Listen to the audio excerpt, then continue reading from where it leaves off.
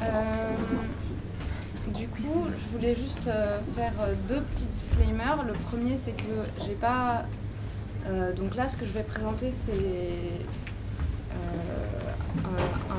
en partie une enquête que j'ai faite euh, pour mon mémoire. Donc avec un questionnaire en ligne et j'ai pas eu le temps de beaucoup interpréter les données. Enfin, j'ai à peine commencé en fait à interpréter les données. Mon sujet, donc du coup, c'est sur euh, les idées sur la nature euh, dans les milieux féministes et antispécistes.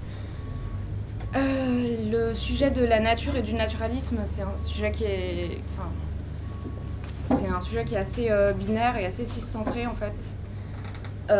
Enfin, sur les sur les questions de genre, parce que parce que la société prend en compte que les hommes cis et les femmes cis et que les personnes trans et non binaires, on est, on est marginalisés. euh, euh, voilà. Et donc, du coup, ce que je veux dire, c'est que je vais euh, parler de, de manière assez centrée. C'est très, c'est très chiant. C'est enfin, ça fait partie des choses qui font que je commence à en avoir marre de travailler sur ça. Mais du coup, voilà, je tenais à le dire parce que, en fait, ce serait, enfin, ce serait très très compliqué. Ce serait pas possible en fait de euh, pas parler de manière si centrée parce que ça compliquerait de, de ouf euh, euh, les analyses parce que le naturalisme s'applique pas du tout de la même manière euh, aux personnes qui rentrent pas dans le qui rentrent pas dans la binarité de genre. Alors, du coup, donc pour vous présenter un peu mon sujet. Euh, donc je travaille sur euh, donc je suis déjà je fais des études euh, je suis en master d'études sur le genre à l'université Paris 8 je suis en master 2 Euh, donc je fais un mémoire sur les discours sur la nature dans les milieux féministes et animalistes. J'ai déjà travaillé sur ce sujet en philo il y a deux ans. Voilà. Et donc du coup j'ai fait une, une enquête de sociaux. Euh, j'ai fait un questionnaire que j'ai diffusé euh, sur Internet, donc essentiellement sur des groupes euh, Facebook euh, pour la cause animale et féministe. Voilà, j'ai eu euh, euh, 270 réponses à peu près. Euh, voilà. Qu'est-ce que je peux dire d'autre? Bref, voilà. Et donc je vous présenterai le peu de, données que j'ai pu euh, interpréter, euh, je vous le présenterai tout à l'heure. D'abord, je vais vous faire une présentation euh, plutôt théorique du sujet. Donc, en gros, comment la notion de nature est utilisée pour,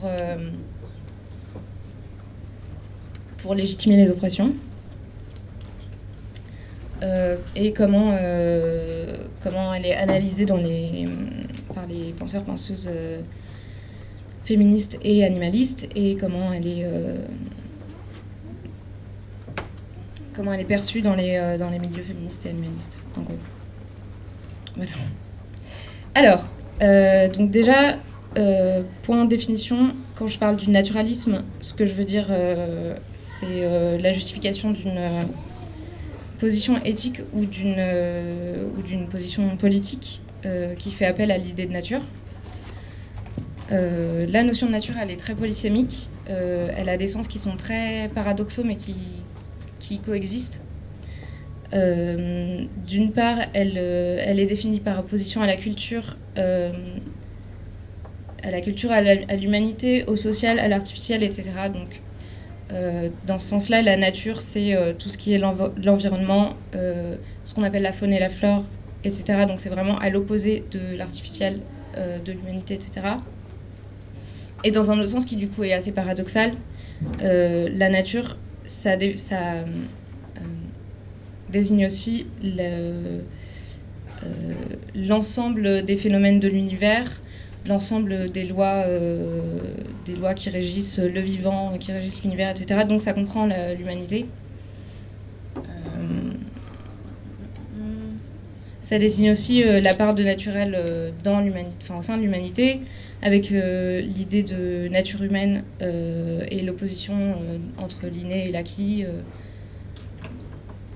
Voilà. Donc du coup, c'est des sens qui sont très paradoxaux. et en fait, il y a un philosophe qui s'appelle Clément Rosset qui a écrit un, livre qui s'appelle L'antinature, où il explique notamment que c'est cette polysémie précisément qui fait la force de la notion de nature et qui fait qu'elle marche très bien en fait pour, euh, pour euh, légitimer des trucs, notamment des oppressions. Lui, il parle pas précisément de ça, mais bon. Euh, donc c'est ce, ce, sens qui est toujours très flou en fait qui fait le pouvoir de la notion de nature parce qu'elle est jamais vraiment définie, mais du coup ça permet de l'utiliser un peu comme on veut.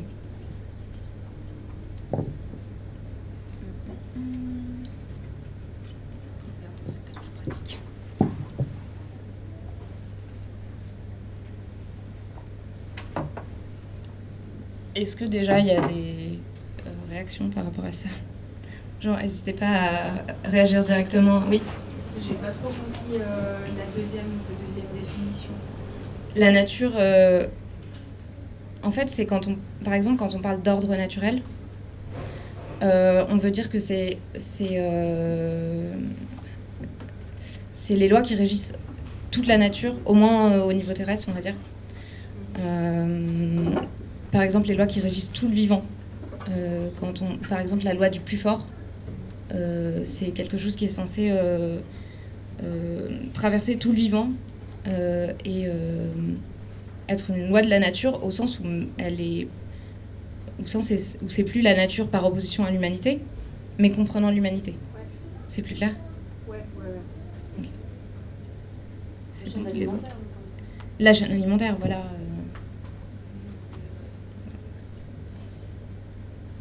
Alors du coup, euh, j'ai déjà un peu parlé de comment l'idée de nature est utilisée pour justifier les oppressions.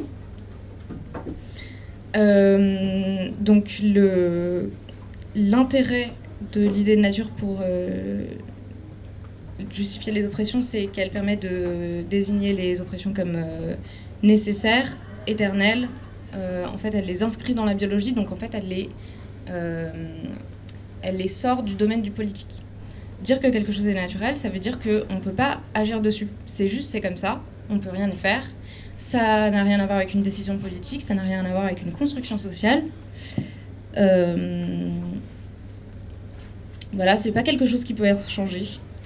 Euh, du coup, la notion de nature est très pratique pour ça, parce que à partir du moment où on dit que quelque chose est naturel, euh, ça veut dire qu'on ne peut pas peut pas y toucher et, euh, l'affaire est close et et on voilà, on peut pas s'y opposer.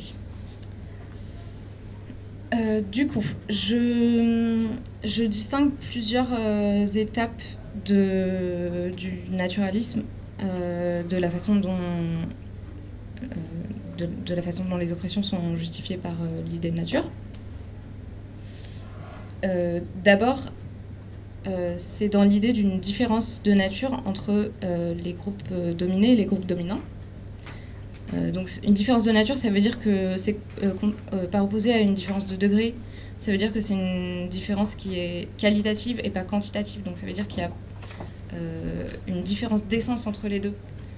c'est deux choses complètement différentes et pas juste deux choses qui sont sur le même spectre et qui auraient des différences graduelles entre elles. Donc du coup, le naturalisme, ça passe d'abord par euh, l'affirmation euh, du fait qu'il y a deux essences dans les, euh, dans les relations entre les dominés et les dominants. c'est toujours les dominés qui sont définis comme, comme différents, en fait, alors que les dominants se considèrent comme le neutre. comme l'indéterminé, comme l'universel, etc. Euh, donc, par exemple, euh, c'est quelque chose qu'on voit euh, dans le cadre du sexisme. Les femmes sont considérées comme possédant une différence significative, une différence spécifique. par exemple, quand on, quand on désigne les femmes, enfin les écrivaines, quand on les désigne comme des femmes écrivains, quand on désigne la littérature féminine, alors qu'on ne va pas parler de la littérature masculine. Voilà, c'est que en fait on considère que le masculin est le neutre et que le fait que ce soit une femme qui fait quelque chose, ça rajoute une différence. Euh, et donc, euh, pour les autres euh, oppressions, les personnes trans, les personnes racisées, les personnes qui ne sont pas hétéros, les personnes intersexes, etc., sont aussi considérées comme différentes de la norme. La norme qui est cis, blanche, hétéro, diadique. Donc diadique, pour les personnes qui ne savent pas, c'est l'inverse de l'intersexe. Intersexe pour les personnes qui ne savent pas c'est des personnes qui euh, ont des caractéristiques euh, qui rentrent pas dans la rentrent pas totalement dans la binarité euh, mâle-femelle et qui du coup sont qu'on force à rentrer dans la dans la binarité mâle-femelle par des mutilations et des traitements hormonaux notamment. Allez voir le travail du collectif Intersexe et Alliés qui est très euh, complet sur le sujet. Si vous ne savez pas ce que c'est, vraiment, c'est important de s'intéresser à ça parce que c'est des personnes euh, qui sont oubliées dans les causes euh, LGBT+. Et donc voilà, allez voir ça. Voilà, donc en tout cas, c'est des personnes qui sont considérées comme différentes par rapport à la norme. Il euh, y a donc euh, Beauvoir qui pas, euh, Simone de Beauvoir qui s'est pas mal intéressée à ça dans le deuxième sexe. quand elle dit par exemple, quand elle dit par exemple que la, que la femme est l'autre alors que l'homme est l'absolu, c'est bien ça que ça montre, c'est que l'homme c'est la, la base, c'est la norme, et la femme en dévie. elle, elle, est différente par rapport à l'homme. Donc du coup, il y a une idée d'une différence fondamentale entre les dominants et les dominés. Euh, c'est quelque chose que aujourd'hui, au niveau de au niveau du sexisme, euh, on voit énormément dans les discours euh, de groupes comme la Manif pour tous. voilà, c'est, en fait, c'est un discours qui revient depuis la, depuis la fin des années 2000 parce qu'il y a le Vatican qui s'est lancé dans une croisade anti-genre. Euh, donc, euh, c'est-à-dire que le Vatican s'est donné pour mission de euh, rétablir la différence fondamentale entre les hommes et les femmes et le, ce, qui, ce, que le Vatican considère comme le socle de la société, qui est la famille hétéroparentale, et qui, qui du coup s'est donné pour mission de renaturaliser tout ça, parce qu'il considère que le féminisme ben, dénaturalise les choses qui est vrai en soi, mais voilà. Euh, et donc du coup, c'est repris avec euh, le discours de, de la manif pour tous euh, et de la, de la différence fondamentale entre les hommes et les femmes et de, de l'idée d'une complémentarité homme-femme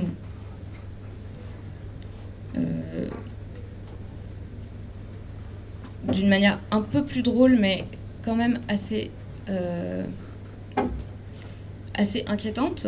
C'est aussi euh, présent dans. Euh, je pense que tout le monde a déjà entendu parler de cette, cette œuvre qui est Les hommes viennent de Mars, les femmes viennent de Vénus. Voilà, alors c'est. c'est c'est un, un. Je sais même pas c'est un mec qui s'appelle John Gray qui a écrit ça euh, euh, en 92, je crois. Euh, qui, par ailleurs, c'est assez drôle en fait quand on s'intéresse à lui parce qu'on se rend compte que tous ces, ces soi-disant diplômes de psychologie et tout ont été en fait attribués par des universités qui ne sont pas reconnues par l'État américain. C'est très étonnant. Euh, et donc, du coup, voilà, les, euh, les hommes viennent de Mars, les femmes viennent de Vénus. C'est vraiment l'idée qu'il y a une différence fondamentale entre les hommes et les femmes, à tel point qu'on pourrait croire qu'ils viennent de deux, euh, de deux planètes différentes et que vraiment, c'est deux espèces qui ont deux manières de fonctionner qui sont tellement différentes qu'elles ont vraiment très besoin d'acheter les livres de John Gray pour se comprendre, parce que sinon, personne ne pourrait se comprendre. Et. Et donc, du coup, je, je, vous conseille d'aller voir la page Wikipédia de, des hommes viennent de les, les femmes viennent de Vénus, parce que j'ai appris qu'il y avait énormément d'objets, euh, comment on appelle ça? Euh, D'objets dérivés de produits dérivés de, de ce livre. donc notamment des, genre, des croisières à thème et ouais, ouais, ouais, non, c'est super drôle. Et des, des sauces salades, figurez-vous. pour hommes. Pour hommes et pour femmes. Voilà. voilà, tout genré, c'est très important. Mais c'est pas du tout par, euh, par volonté capitaliste, c'est vraiment euh, pour, euh, pour, pour le bien des, des, gens, pour que les, les hommes et les femmes qui sont si différents, si différentes, se comprennent.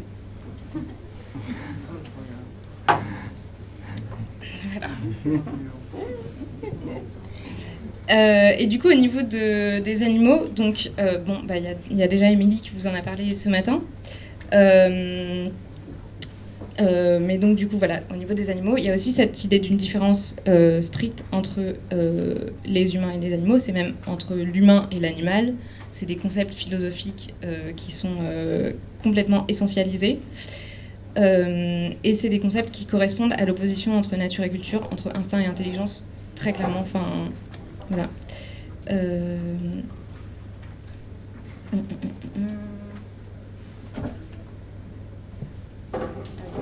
donc il y a notamment Florence Burga qui, euh, étudie ça euh, dans ses livres et qui du coup montre qu'il y a une construction d'un dualisme entre l'être humain et l'animal, qui en fait qui est, qui est tel que euh, on considère que la différence entre la différence entre les humains et le reste des espèces est tellement importante que par rapport à cette différence-là, la différence entre le, les étoiles de mer et les éléphants est ridicule enfin, et pas importante. Voilà, il y, a une telle différence entre l'humain et l'animal que toutes les différences entre tous les autres animaux euh, ne comptent pas. C'est quand même une essence entière, euh, l'animal, alors qu'en réalité, il y a une immense diversité des, euh, espèces animales qui ne permettent pas de faire, de faire un, un, groupe animal, en fait.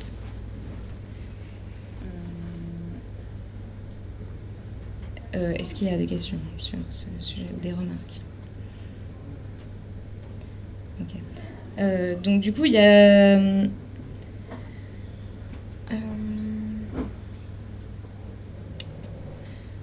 cette, idée d'une différence fondamentale entre les dominés et les dominants, elle est toujours très présente aujourd'hui.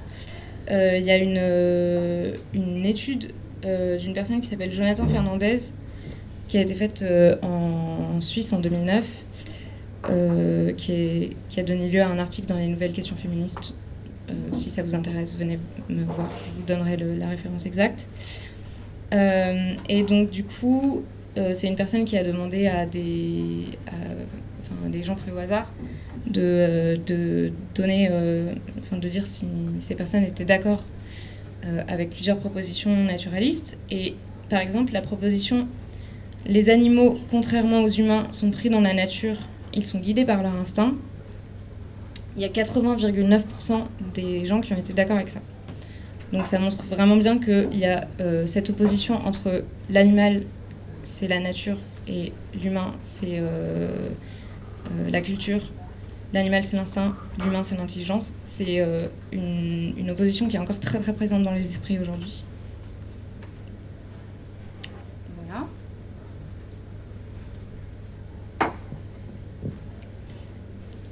Ensuite, la deuxième euh, étape du naturalisme, euh, c'est la naturalisation des dominés. Euh, parce qu'en fait, dans, ce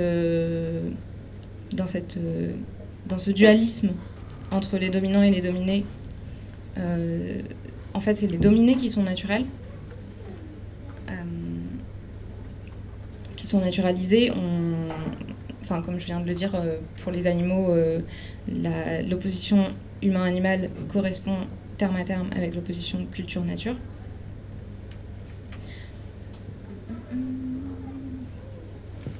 Et alors, euh, euh, Colette Guillaumin, qui est sociologue, qui était sociologue, euh, elle, elle détermine dans son livre Sexe, race et pratique du pouvoir que je vous conseille, si vous ne l'avez pas lu. Elle détermine deux étapes de, ce naturalisme-là. dans un premier temps, la nature correspond à la fonction des êtres. donc je ne sais pas si vous s'il y a beaucoup de gens qui connaissent la euh, théorie aristotélicienne de la nature, et notamment euh, la position d'Aristote euh, sur ce qu'on sur ce que lui appelle l'esclave par nature. En gros, Aristote considère que si les choses sont telles qu'elles sont, c'est parce qu'elles sont comme ça par nature. donc euh, l'esclave par nature, c'est euh,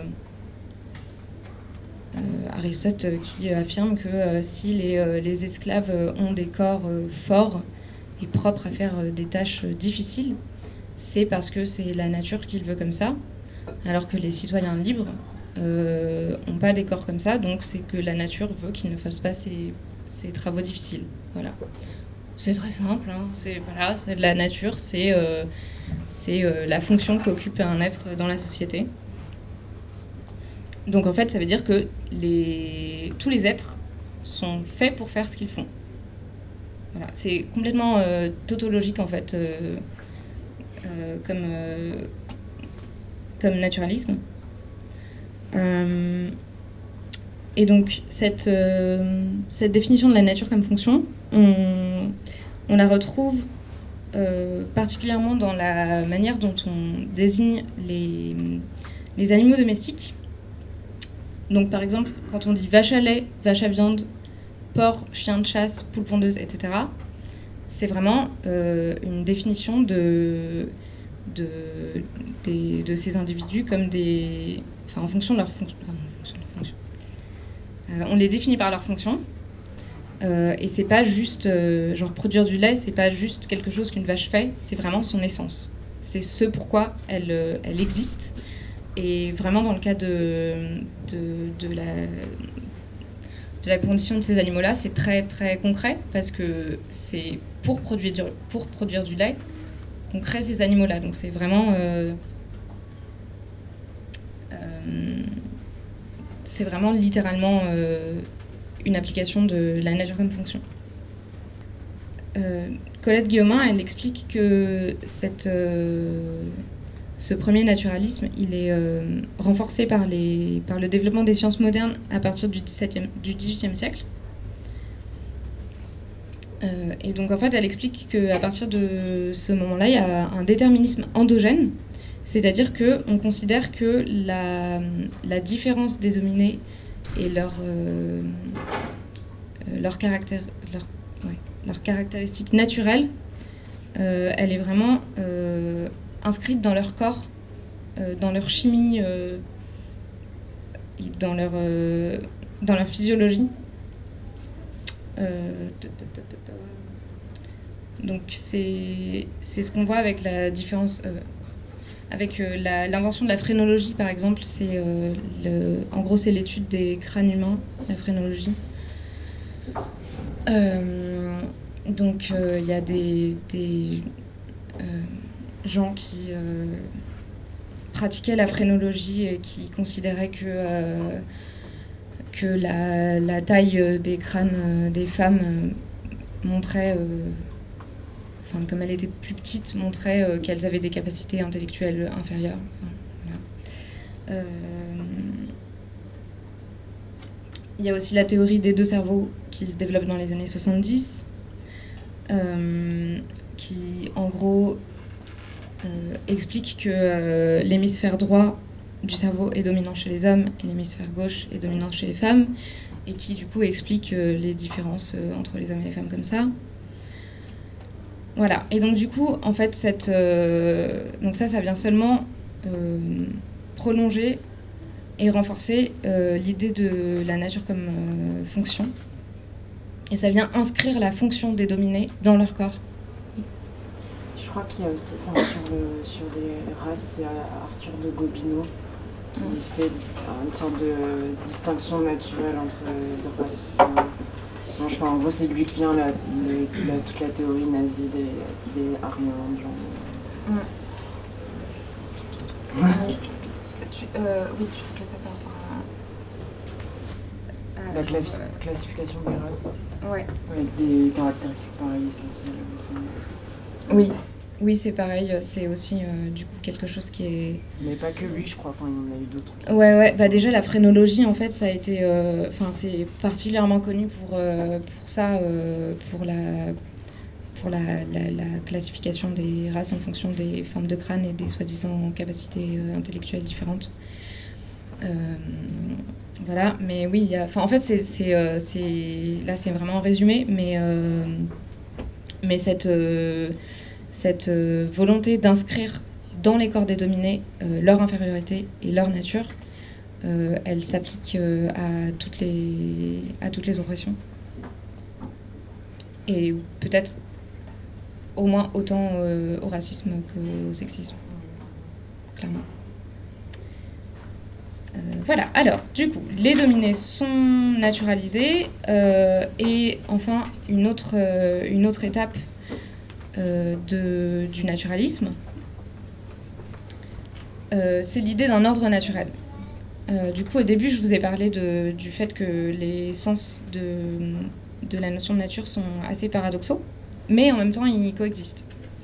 Euh, donc là, c'est vraiment ça, c'est que euh, d'un côté, on dit que c'est les dominés qui sont naturels, euh, c'est-à-dire que c'est les femmes qui sont instinctives, c'est les animaux qui ont l'instinct, euh, et les hommes et les humains, au contraire, sont rationnels, sont euh, culturels, sont euh, vraiment que des êtres sociaux, etc. Mais en même temps, les,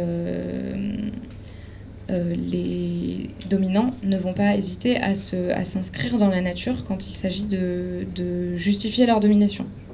Donc là, je vous renvoie à... alors, il y a Guillaumin qui parle de ça.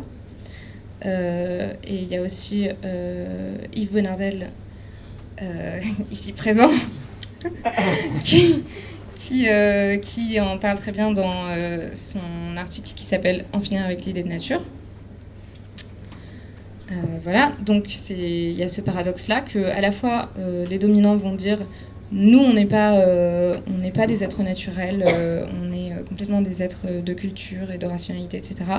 Et en même temps, de manière un peu opportuniste, ces mêmes dominants vont faire appel à la nature et à une idée d'ordre naturel des choses pour justifier la domination.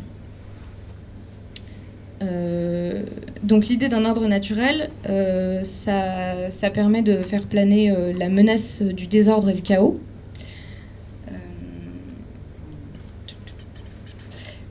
Enfin, ça c'est très visible. quand on voit les, réactions des, conservateurs dès qu'il y a un- une once de dénaturalisation d'une oppression, c'est euh, directement où va le monde, euh, ce sera bientôt le chaos et euh, enfin voilà, c'est hyper, euh, c'est hyper visible. Euh, et donc du coup, euh, en fait, l'ordre naturel, il faut le comprendre dans deux sens. C'est à la fois ce qui ordonne, c'est-à-dire qu'on prétend que, euh, que, que c'est les lois de la nature et que c'est comme ça que c'est fait et que euh, voilà, c'est l'ordre au sens descriptif, mais c'est aussi au sens prescriptif. C'est l'ordre qui commande. C'est-à-dire que si on s'en, si éloigne, euh, ben, on ne sait pas ce qui va se passer, mais apparemment, il ne faut pas le savoir, euh, parce que ce serait euh, apparemment dramatique. Donc du coup, cette, cette inscription de la nomination dans un, dans un ordre naturel des choses, ça passe par exemple par la naturalisation de la domination masculine. Euh, Il y a une autrice féministe qui s'appelle Donna Haraway qui a écrit un livre qui s'appelle Des singes, des cyborgs et des femmes, euh, où euh, notamment elle, elle étudie des primatologues qui, qui font le constat d'une dominance mâle chez les singes et qui du coup en concluent que la domination masculine est naturelle parce que les singes ont un système de dominance mâle et que c'est nos plus proches parents. Voilà.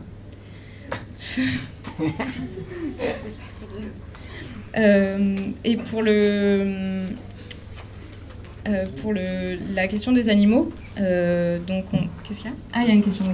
Euh, je voulais savoir, est-ce que c'est possible de le trouver en français ce texte-là Moi, je l'ai trouvé. Ah ouais Donc il est trouvable.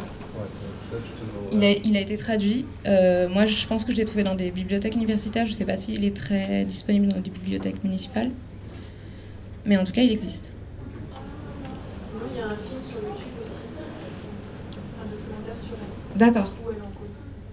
Ok, qui s'appelle euh, comment? Je sais pas. Bon. Voilà. Oui, donc dans la. Il y a une question? Oui. Non, c'était pour vous dire, c'est que Colette Guillemin avait aussi parlé de ces questions-là. Oui.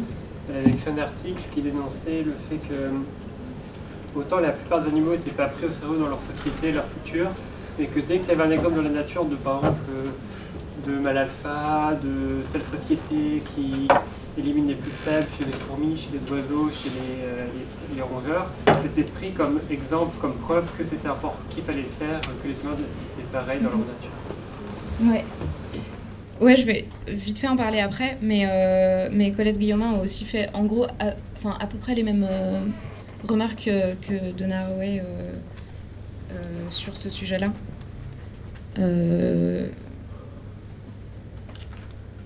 qui, est que, en gros, c'est une manière absolument malhonnête de, de faire référence aux animaux, mais bref, j'en parlerai après. Euh, en parlant de malhonnêteté, euh, donc euh, l'argument de l'ordre naturel, on le connaît tous et toutes dans le milieu animaliste avec l'appel à la prédation.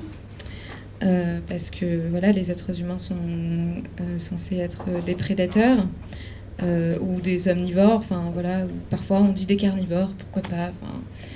Euh, c'est tout est un peu mélangé et, euh, et donc du coup on serait censé on serait censé respecter notre nature de, de prédateur en allant acheter des petits steaks hachés chez Carrefour.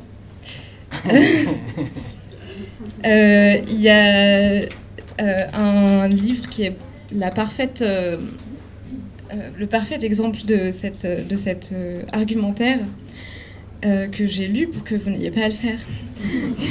c'est l'apologie du carnivore de Dominique Lestel. Peut-être que certains, certaines l'ont lu aussi. Ouais. donc, en gros, Dominique Lestel, je crois qu'il est ethnologue en plus. mais du coup, c'est une personne qui, qui s'intéresse vraiment aux animaux et qui a écrit un bouquin qui s'appelle euh, L'origine animale de la culture, un truc dans le genre. Enfin, bref, et, euh, et qui, qui a une position qui est complètement naturaliste euh, sur la consommation de viande, qui est que en fait manger de la viande, ce serait la vraie position antispéciste. Parce que quand on mange de la viande, on s'inscrit dans l'animalité on accepte notre animalité euh, parce que la nature, c'est euh, euh, manger ou être mangé. je précise qu'il fait directement référence à, l'argument du cri de la carotte. Donc pour lui, manger des plantes ou manger des animaux, c'est exactement la même chose. Donc du coup, l'ordre naturel, c'est des êtres mangent des êtres.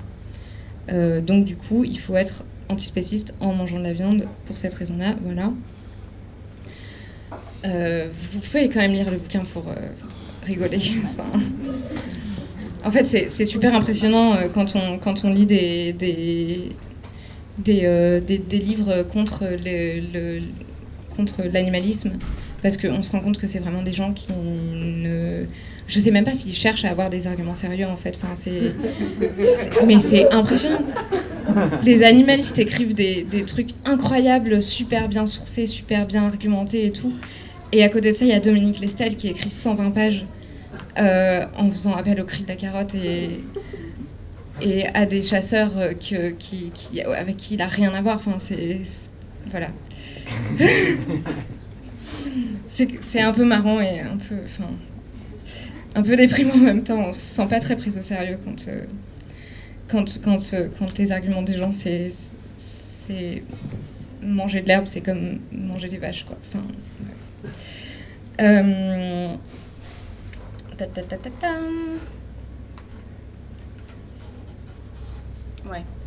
Euh, donc du coup, l'argument de manger de la viande c'est naturel euh, euh, et de voilà de l'idée que la consommation de viande s'inscrit dans un ordre naturel des choses, c'est un argument qui est très présent.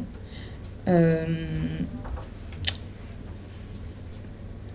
y a Mélanie Joy dans Introduction au carnisme qui le compte dans les trois plus grands types d'arguments euh, qui sont utilisés euh, euh, pour s'opposer au véganisme. Elle appelle ça les trois N. En gros, c'est normal, nécessaire et naturel. Et donc ça, ça a été testé par une enquête en 2015 euh, qui, qui, a trouvé que le- les arguments de type euh, c'est naturel revenaient dans euh, 17 à 23 des, des réponses euh, des gens à qui on demandait euh, pourquoi vous pensez que c'est ok de manger la viande. Voilà, donc c'est vraiment un, c'est vraiment un argument qui est très présent. Est-ce qu'il y a des questions sur cette partie? Oui. Juste répéter la, la référence, l'autrice Euh, Mélanie Joy Et le livre, c'est Introduction au carnisme. Alors, du coup, je vais rapidement parler du point de vue des animalistes et euh, des, féministes, des féministes sur le naturalisme. Euh,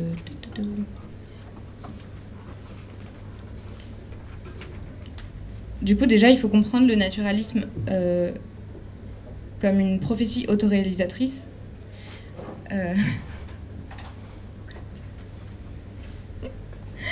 Euh, donc c'est un concept qui a été, euh, qui a été créé par euh, le sociologue Robert K. Merton. Et en fait, il l'explique. donc il l'explique comme ça. Au départ, il y a une définition fausse de la situation. Et cette définition-là, elle va provoquer un comportement nouveau qui va rendre vrai la conception de départ, qui était fausse au départ. Est-ce que tout le monde a compris? Non. Ok. Alors, exemple. Euh, on prétend que les femmes savent naturellement mieux euh, s'occuper des enfants que les hommes. Euh, du coup, on apprend aux femmes à s'occuper des enfants pendant leur vie. Voilà, les femmes sont socialisées à- aux soins des enfants, dans le jeu, dans l'enfance, et puis ensuite, c'est, à cause de cette, euh, de cette croyance en l'instinct maternel, en fait, euh, bah, on va apprendre aux femmes à s'occuper des enfants. Euh, et du coup, les femmes, fin- finalement, vont mieux savoir que les hommes comment s'occuper des enfants, parce que les hommes, on leur a pas appris à s'occuper des enfants. Donc du coup, c'est bien une prophétie autoréalisatrice, parce qu'au départ, les femmes savent pas mieux s'occuper des enfants que les hommes. Et en fait, on, le, on rend cette proposition-là vraie euh, par, euh, par cette idée naturaliste que euh, les femmes savent naturellement mieux s'occuper des enfants. Est-ce que c'est plus clair? Ok. Et donc du coup, après, ça crée un cercle vicieux parce que euh, comme c'est vrai que les femmes savent mieux s'occuper des enfants que les hommes, en moyenne, euh, bah, on va dire que c'est la preuve que l'instinct maternel existe. Donc du coup, euh, voilà, l'idéologie naturaliste, c'est une prophétie autoréalisatrice et c'est un cercle vicieux. Euh, et en fait, ce que permettent de, remarquer les points de vue féministes, animalistes et les points de vue des, des autres euh, mouvements de lutte euh, sociale, euh, c'est que le naturalisme, ça, invisibilise les, processus sociaux qui crée les- la réalité sociale. Donc par exemple, ça invisibilise, pour reprendre mon exemple de l'instinct maternel, ça invisibilise le fait qu'on apprenne aux femmes à s'occuper des enfants.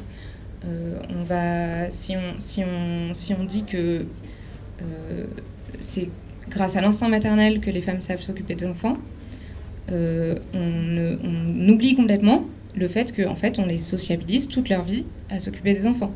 Et que c'est pour ça qu'elles savent s'occuper des enfants. Euh, et donc, du coup, le but des penseurs-penseuses féministes et animalistes, c'est de euh, dénaturaliser euh, les relations sociales pour montrer que c'est des relations sociales, que c'est des processus, c'est le, résultat de processus politiques. Euh, voilà. Euh, Et donc du coup, ça passe notamment par euh, le fait de remarquer les biais du naturalisme. Donc c'est là que je reviens à Guillaumin et à son article qui s'appelle Des harengs et des tigres, qui est présent dans Sexe, race et pratique du pouvoir, que je vous conseille de lire. Euh, et en fait, donc du coup, Guillaumin, elle s'intéresse dans cet article euh, à la façon dont l'éthologie est utilisée euh, de manière naturaliste pour,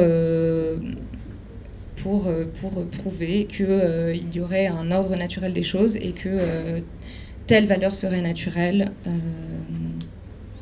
que tel ordre social serait naturel. Et en fait, elle montre que à la fois les, les scientifiques euh, mais aussi après les gens qui vont vulgariser euh, le savoir scientifique ou les gens qui vont utiliser ce savoir scientifique pour prouver leur thèse naturaliste. Euh, donc tout ce monde-là choisit en priorité des espèces sur lesquelles on va pouvoir le plus projeter de choses.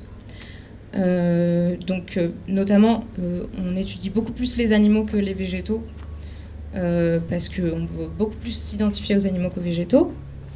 Euh, et puis, euh, bah, en fait, elle remarque que, euh, bizarrement,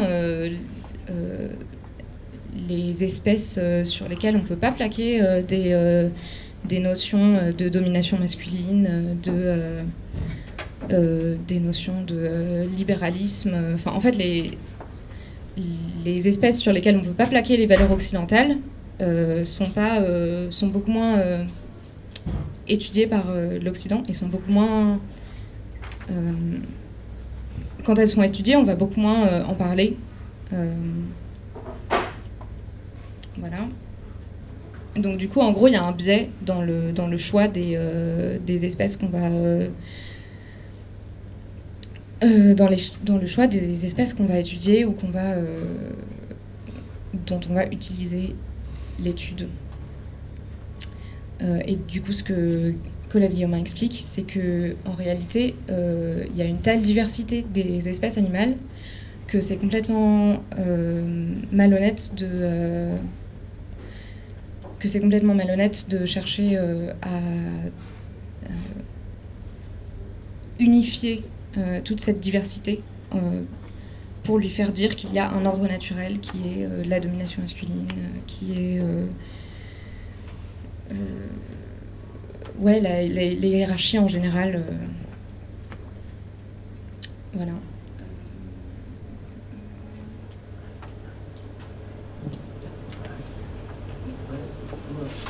Le procédé en soi est fallacieux.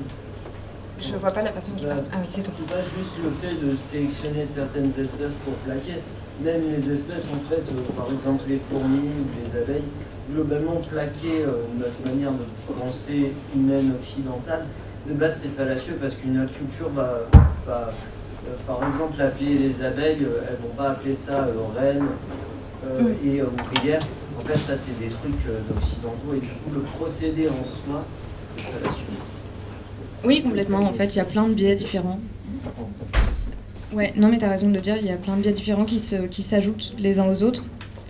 Euh, là, j'ai parlé particulièrement du choix euh, des espèces parce que je peux pas parler de tous les biais qu'il y a.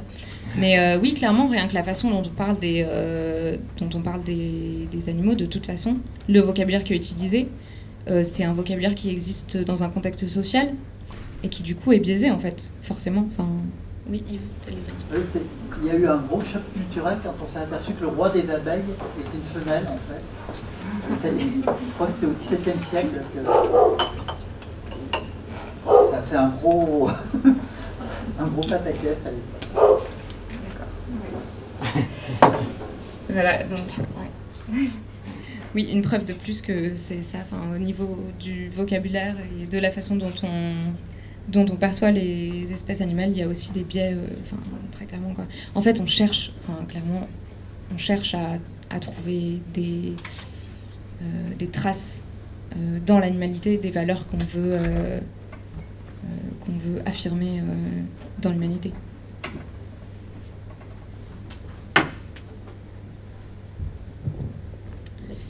Du coup, euh, donc, euh, les féministes et les animalistes, la position. ah oui, non, attends, j'ai pas fini.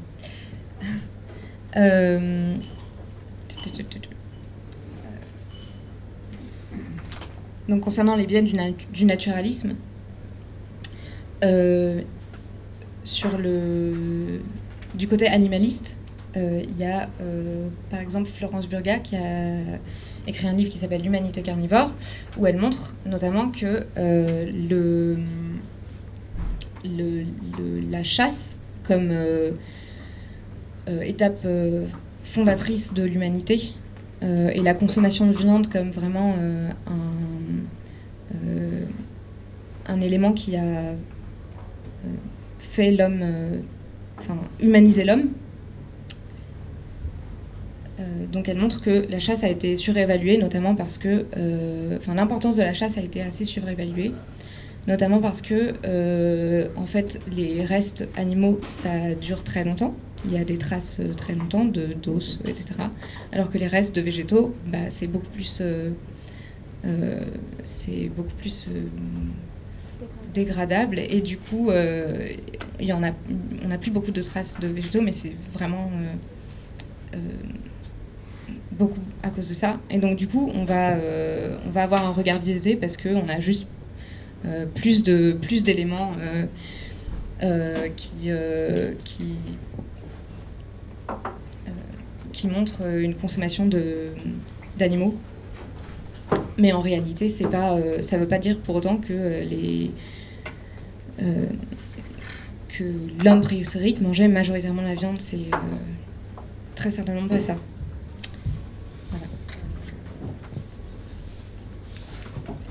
Du coup, il y a d'un côté le fait de, de remarquer que le naturalisme, c'est un point de vue biaisé, et de l'autre côté, en fait, ce que les féministes et les animalistes essayent de faire, c'est euh, de montrer du coup que euh, les relations sociales ne sont pas inscrites dans un ordre naturel, mais sont le produit d'une construction sociale. Euh, c'est ce que font les féministes en développant la notion de genre, la notion de rapport sociaux de sexe, donc ça c'est plutôt la version française de la notion de genre. C'est pour, ex- pour expliquer que euh, les différences entre les hommes et les femmes sont socialement construites, euh, au lieu d'être euh, purement des, différences naturelles. Et du côté de l'animalisme, l'idée c'est de montrer la viande comme un objet culturel qui, qui est produit par des interventions humaines artificielles. Donc euh, c'est quelque chose que montre notamment Carol Adams dans, son livre euh, La politique sexuelle de la viande, euh, où en fait elle se elle s'oppose à l'idée que on est des prédateurs comme tous les prédateurs et que du coup la viande c'est naturel. Elle explique qu'aujourd'hui c'est absolument pas applicable parce que la viande est euh,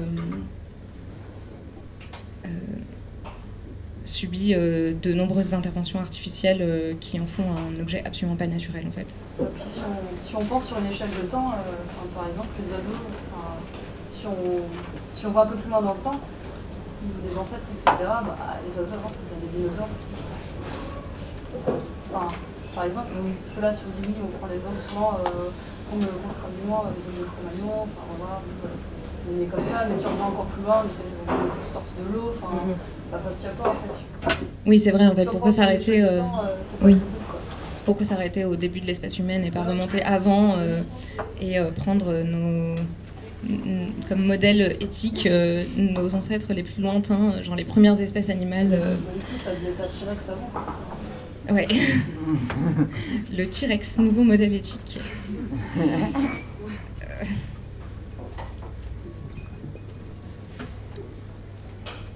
Du coup, euh, le point de vue, euh, enfin, les points de vue féministes et animalistes, euh, ce qui permettent de montrer, c'est que ces relations sociales, c'est des oppressions.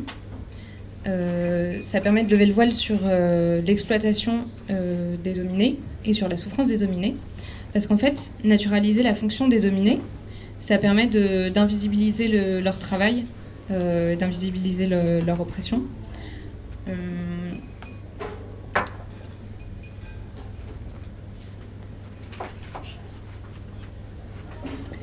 Euh, c'est.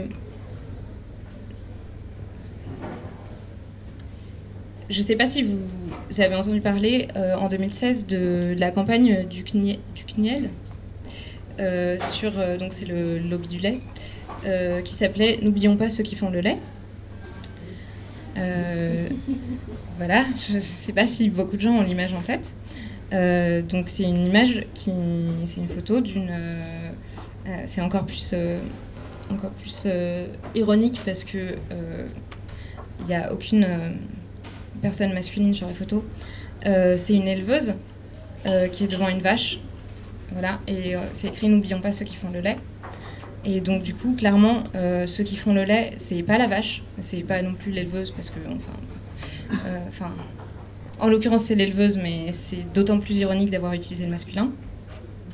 Et donc du coup, en gros, ce que je veux dire par là, c'est que la vache, elle est complètement, sa fonction de production de lait, elle est complètement naturalisée. Donc on ne considère pas du tout que c'est un travail euh, pour les vaches de produire du lait. C'est juste, euh, juste leur, euh, c'est juste ce qu'elles font, mais c'est pas un travail. C'est c'est quelque chose qui, qui, qui existe naturellement, comme ça.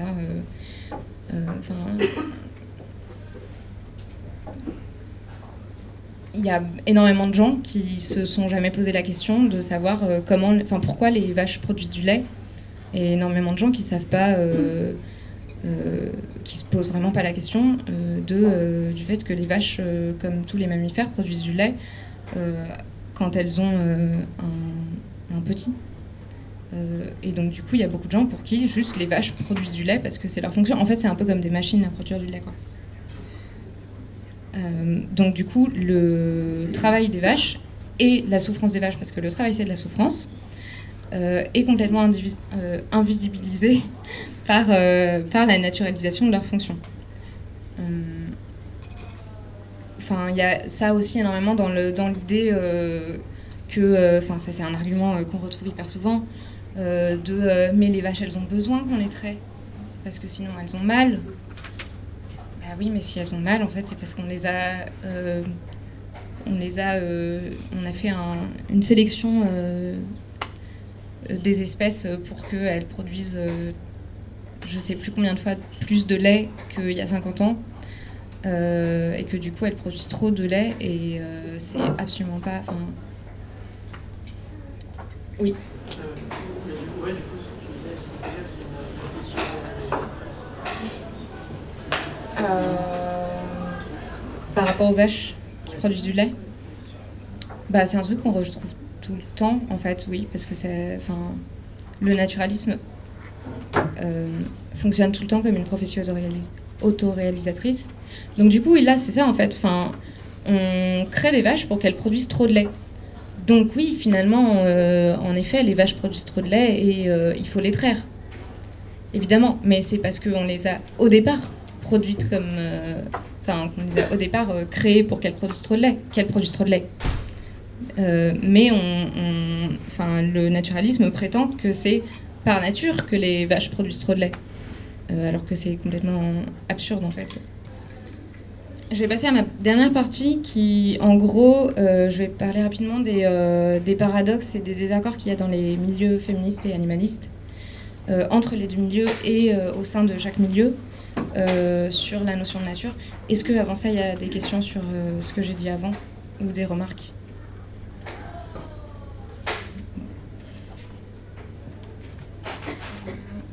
Alors, euh, déjà, euh,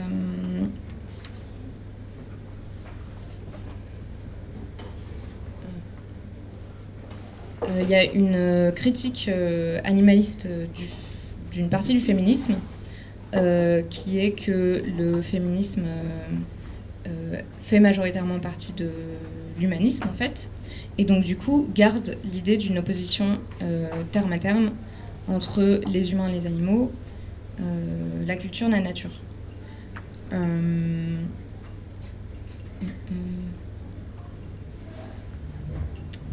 En gros, c'est une, euh, critique que Carol Adams fait à une bonne partie des féministes. C'est que les féministes remarquent qu'il y a une, assimilation des femmes aux animaux, il y a une animalisation des femmes, euh, mais elles s'arrêtent là et elles vont pas remarquer aussi qu'il y a une naturalisation des animaux. Euh, donc en gros, les féministes euh, le, c'est notamment le problème de Colette Guillaumin, c'est qu'elle, en fait, elle cherche à prouver que les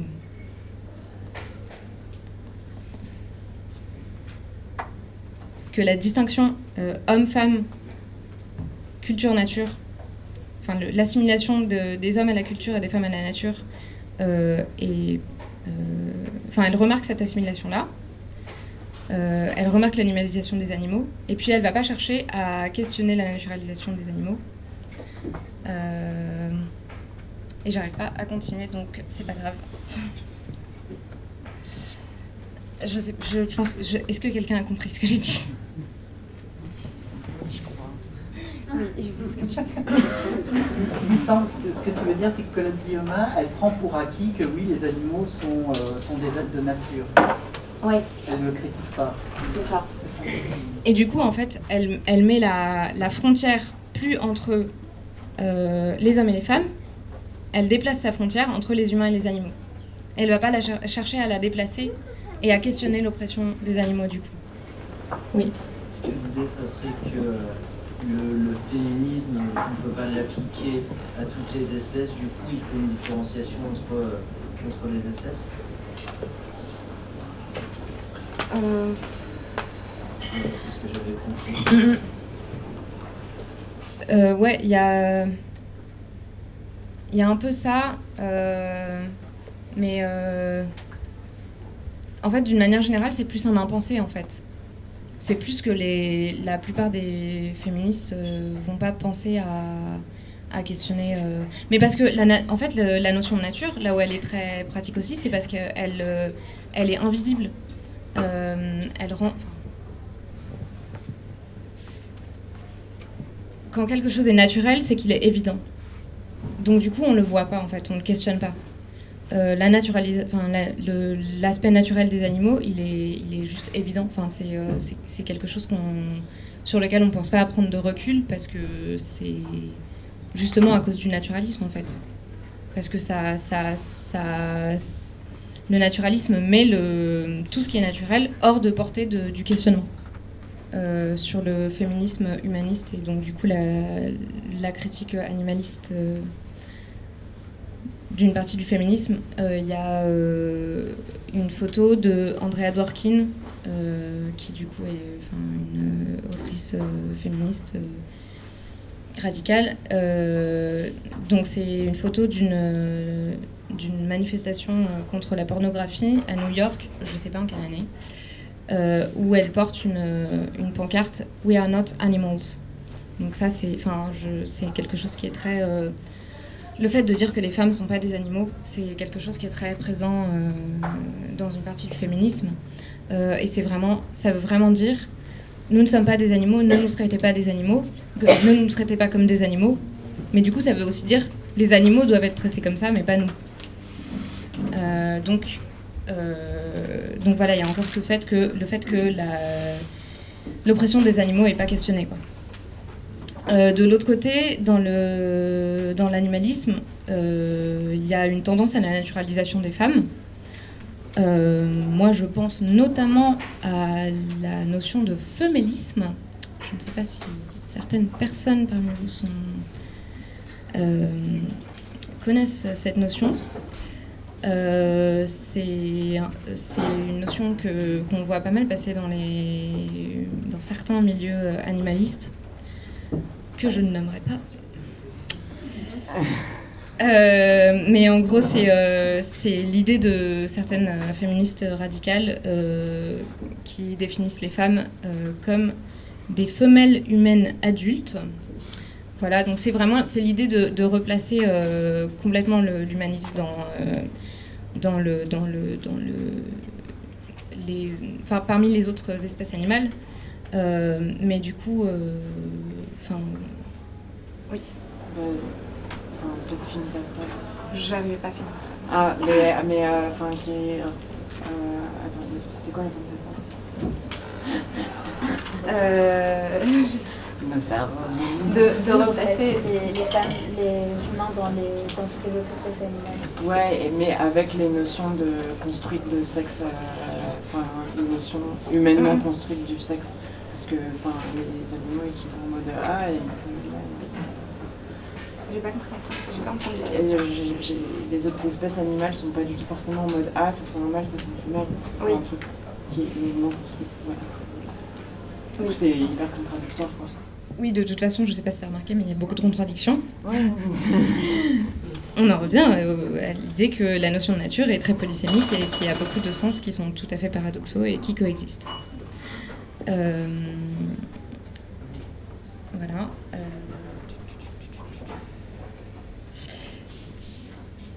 En gros, voilà pour euh, les oppositions qu'il y a entre les féministes et les animalistes sur, qui tournent autour de la notion nature. Si vous avez des remarques là-dessus, si vous avez d'autres idées d'opposition concernant cette question, en parler. Oui Non Oui euh, euh, euh,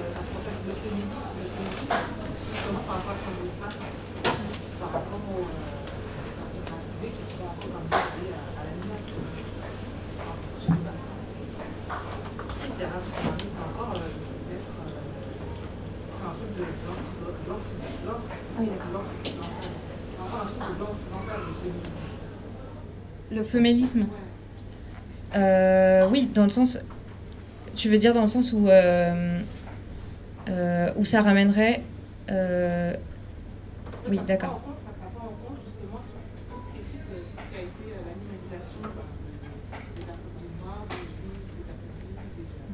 Oui. Oui. Bah oui, complètement. Enfin, de toute façon, euh, le féminisme, je pense que c'est majoritairement un truc de, de féministes blanches, hein, euh, très clairement. Enfin, Genre. Ouais, ouais, de féministes, enfin bref, de féministes euh, euh, dominantes, quoi. Enfin, euh, et qui, du coup, oui, évidemment, prennent pas du tout en compte, euh, parce que c'est un peu facile de, de, de s'assimiler euh, aux animaux euh, quand, euh, quand on n'a pas été animalisé. Euh, et très clairement, euh, les personnes racisées sont beaucoup plus animalisées que, euh, que les femmes blanches, quoi. Donc oui, c'est tout à fait juste.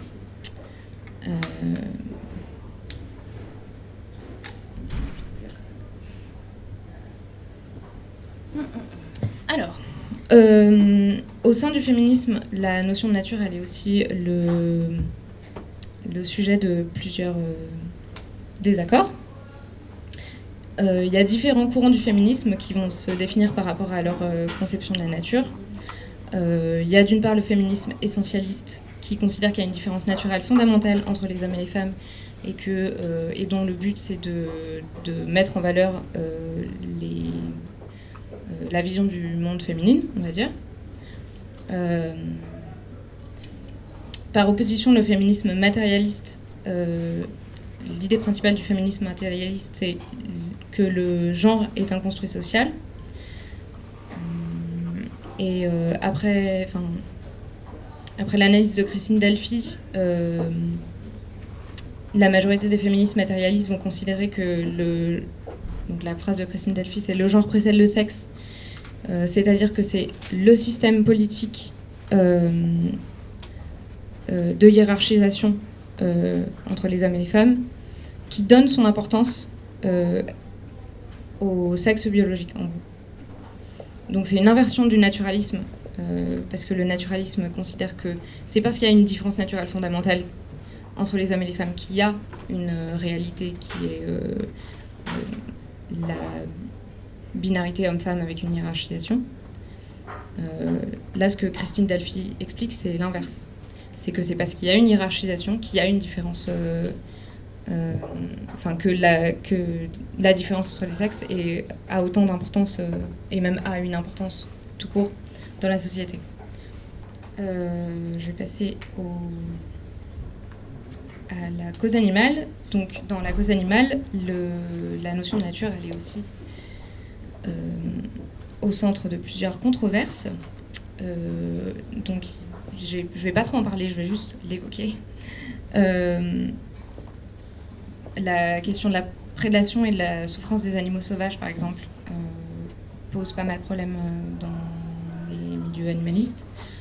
On devait avoir un débat dessus, finalement on l'a pas, mais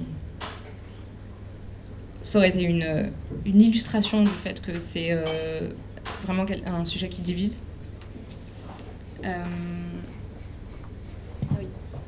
Euh, sur la question de la B12 aussi, euh, il y a quand même beaucoup de gens encore dans les milieux animalistes qui considèrent, enfin, qui veulent pas prendre de B12 parce que ce serait quelque chose qui est pas naturel.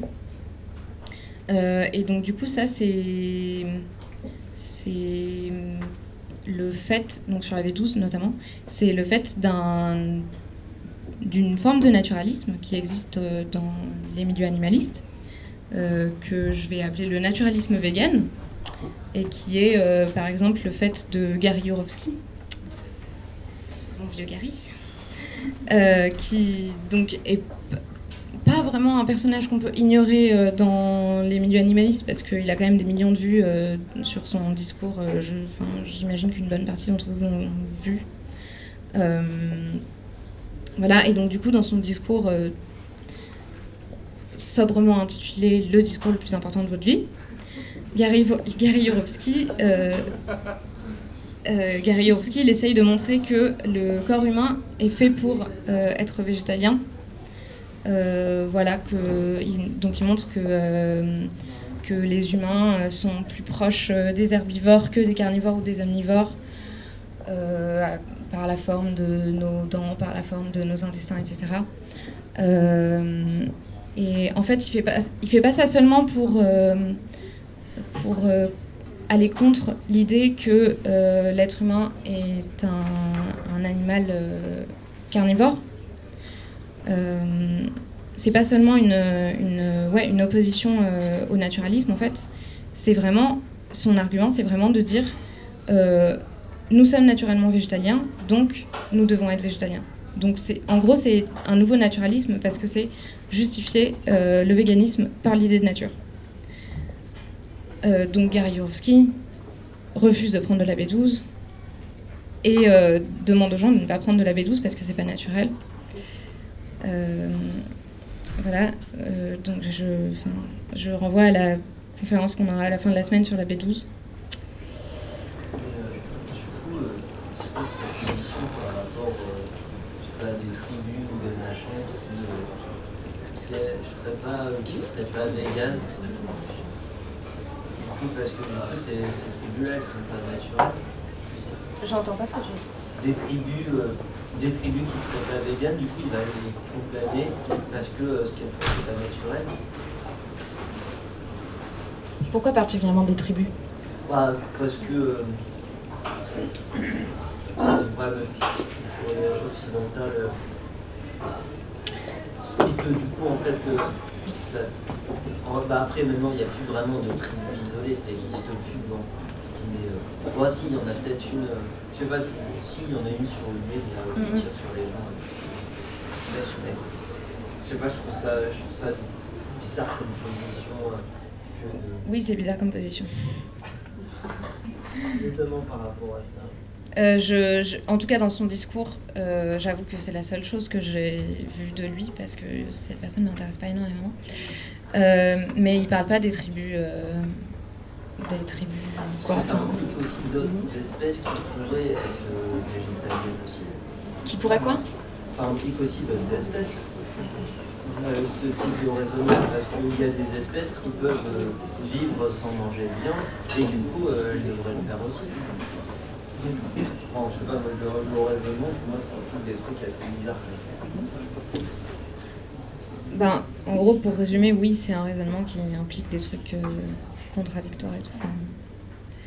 Euh, voilà. Après, euh, c'est un, c'est un, comment dire, c'est un discours d'une heure qui fait. euh, c'est pas.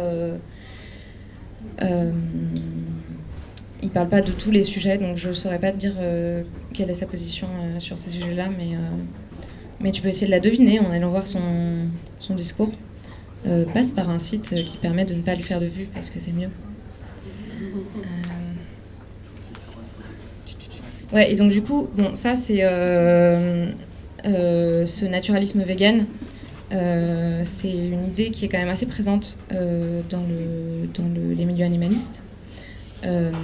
Mais je dirais que la spécificité du naturalisme hum, par rapport au féminisme, c'est de vraiment mettre en avant un antinaturalisme euh, strict qui est de dire que euh, la notion de nature n'a pas à être prise en compte dans l'éthique. euh, est-ce que quelque chose est naturel ou pas, c'est pas un, c'est pas un argument éthique. Hum. Voilà, ça c'est un, ça me semble être la position euh, naturaliste, euh, la position animaliste la plus courante euh, sur l'idée de nature. Euh, c'est de dire que ça va pas être euh, un argument éthique. Oui. Je voudrais juste donner un exemple de naturalisme Il n'y a pas plus tard que une semaine et demie ou deux semaines, je discutais avec des véganes qui justement prenaient manger de la terre pour euh, se prendre. Oui, Gary il dit ça aussi. Il dit qu'il faut pas laver les, les légumes et comme ça vous aurez la B12. C'est faux. Au cas où il y avait un doute, c'est faux. Oui, voilà. Manger la terre. Oui, manger la terre, c'est une très bonne idée. Ça, ça va très bien se passer. Mangeons de la terre. Oui. Euh, Tu t'appelles comment Euh, oui. Au cas où, euh, j'ai une documentation sur le temps de ce qu'on peut faire avant. Mais c'est assez technique, euh, donc euh, c'est plus pour votre euh, professionnel de santé. Voilà. Et il y aura aussi une, une conférence sur la B12 vendredi. Vendredi. Du coup, je crois qu'en fait, c'est c'est qui le. Oui Juste si j'ai bien compris, toi tu dis que la position antinaturaliste c'est la position la plus répandue dans le monde Je sais pas trop. Euh, c'est la plus répandue chez les auteurs-autrices euh, animalistes, je pense qu'on peut dire ça. Et j'ai pas testé de savoir si c'était la position la plus répandue. Euh, Enfin, en fait, un petit peu parce que, donc du coup, sur mon enquête, dont je vais pas énormément pouvoir vous parler parce que j'ai parlé plus que ce que je pensais.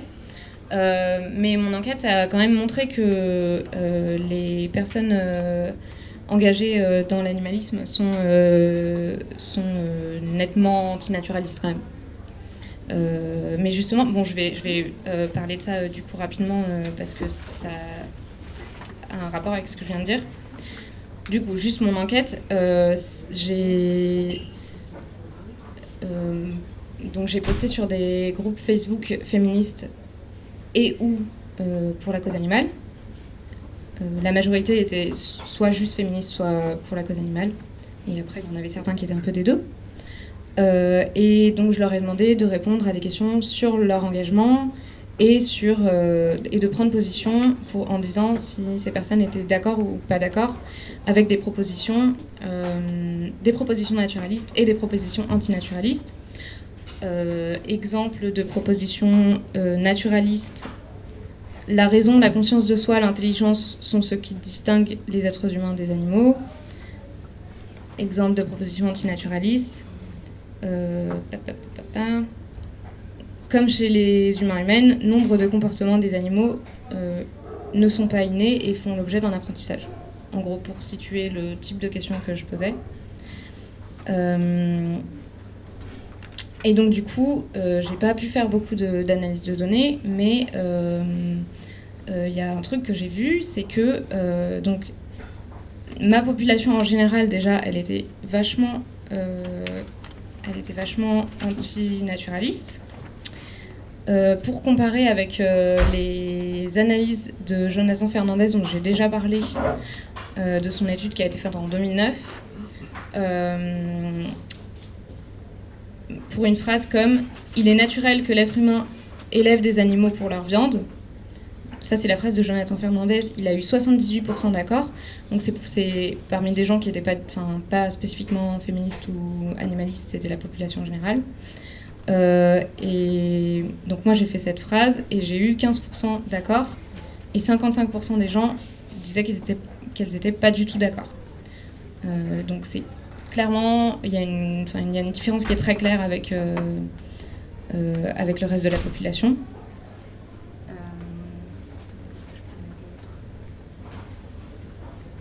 Bon, en gros, c'est euh, euh, pour les questions que j'avais reprises de l'étude de Jonathan Fernandez euh, ou qui ressemblent, à chaque fois, il y a une nette différence entre les résultats de son étude à lui et les résultats de mon étude à moi, ce qui montre quand même que les, milieux, féministes et animalistes sont clairement plus, sont clairement plus antinaturalistes que la population générale.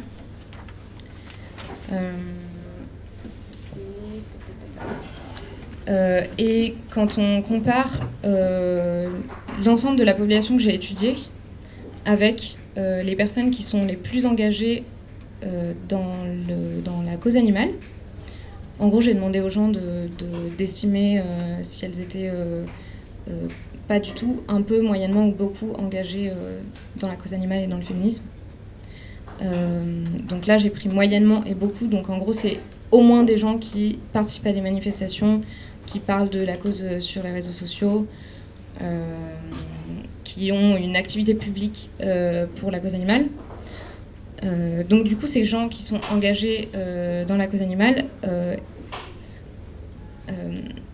avaient un désaccord nettement plus fort que le reste de ma population vis-à-vis des propositions naturalistes qui concernent les animaux. Et ces opinions-là étaient beaucoup plus euh, polarisées que, euh, que pour le reste de ma population. Euh, donc en gros, les, les personnes qui sont engagées dans la cause animale ont beaucoup plus tendance à dire tout à fait d'accord ou pas du tout d'accord sur des propositions qui concernent la naturalisation de la domination humaine, en gros. Je sais pas si... Enfin, ça paraît hyper abstrait. Est-ce que vous avez besoin d'exemples?